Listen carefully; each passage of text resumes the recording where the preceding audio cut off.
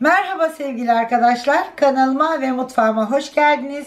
Bugün sizlere harika bir tarif vereceğim. Yelpaze kebabı. Bunun için ne gerekiyor? Bir tane bostan patlıcanımız var. 250 gram kıymam var. E, Benim yazdan yaptığım domates sosum var. Yemeklere çok lezzet veriyor. Kullanıyorum. Tarifini yukarıda bakabilirsiniz. Çok lezzet veriyor. 2 tane sarımsak kullanacağım. 2 diş. Bir tane soğanım var. Tuzum var. Karabiberim var. Üzerine domates salçam var. Bir yemek kaşığı. Ve yarım çay bardağı sıvı yağım var. Ama birazcık da içine kullanacağım bunu. Şimdi ilk iş olarak patlıcanlarımı kesmeyle başlıyorum.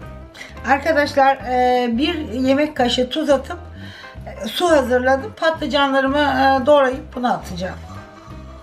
Arkadaşlar iki tane böyle yemek bıçağı kullanacağız. İkisi de aynı boyda olacak şeyleri, kalınlıkları yukarıdan aşağı doğru değil de bu şekilde. Şimdi patlıcanımın baş kısmını alıyorum. Patlıcanımızın sert kısmını aldık ve ortadan ikiye bölüyoruz.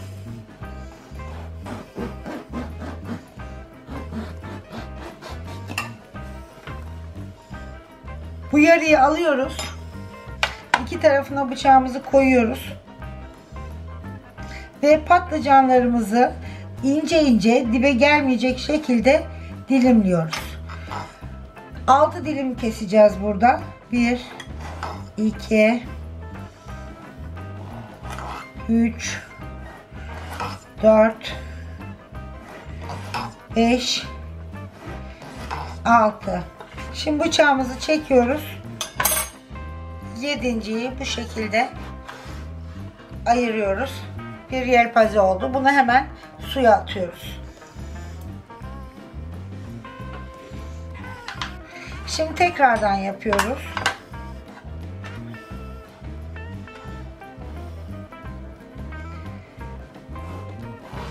Bir,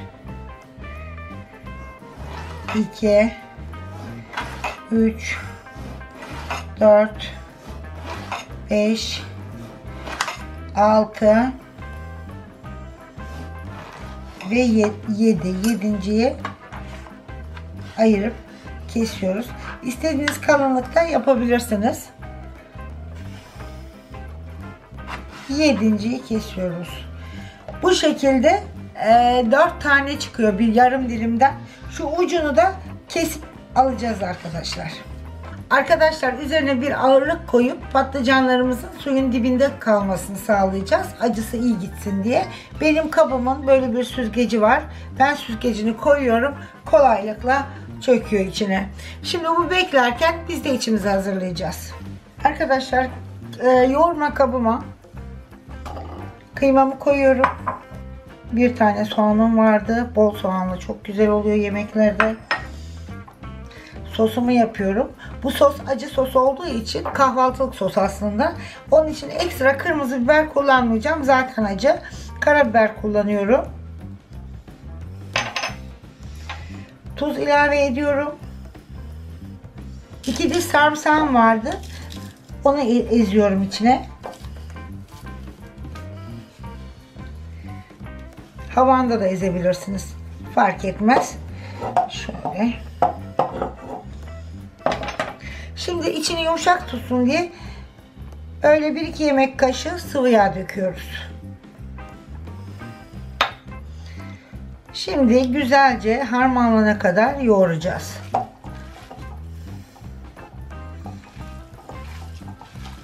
Sevgili arkadaşlar, içimi hazırladım. İçim hazır. Şimdi patlıcanlarımı e, sudan alıp alıp arasına kıymayı koyacağım. Bu harcımı koyacağım. Patlıcanlarımı bu şekilde alıyorum.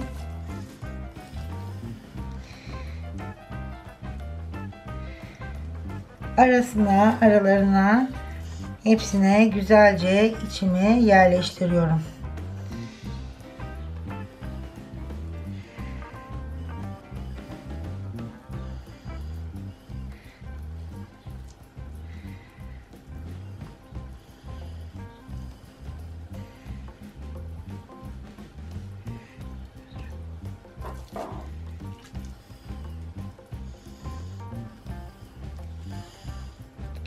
Evet.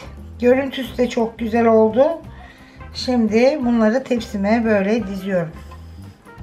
Tekrardan alıyorum.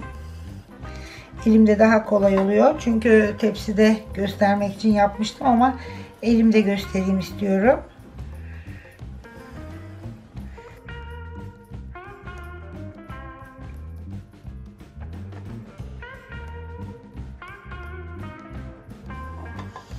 Bütün patlıcanlarımı bu şekilde hazırlıyorum.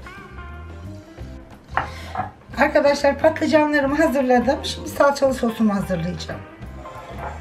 Salçalı sosum için salçamı karıştırma kabıma alıyorum. Sıvı yağ boşaltıyorum.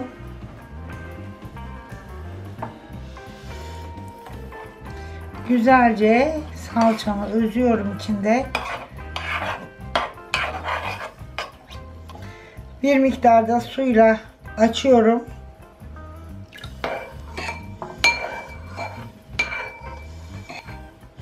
Şimdi sosumu üzerine her tarafına gelecek şekilde yediriyorum. Yaklaşık bir su bardağı su koydum. Yarım çay bardağı sıvı yağ.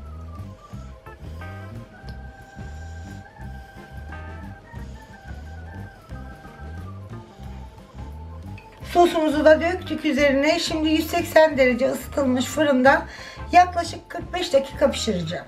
Arkadaşlar yelpaze kebabım servise hazır. Afiyet olsun. Beğenmeyi unutmayın. Kanalıma abone olmayı unutmayın. İyi günler diliyorum. Tepsiyle çekmedim. Çünkü iftar vaktiydi. Biz yedik. Ee, sunum için ayırdım. o şekilde oldu. Afiyet olsun. İyi günler.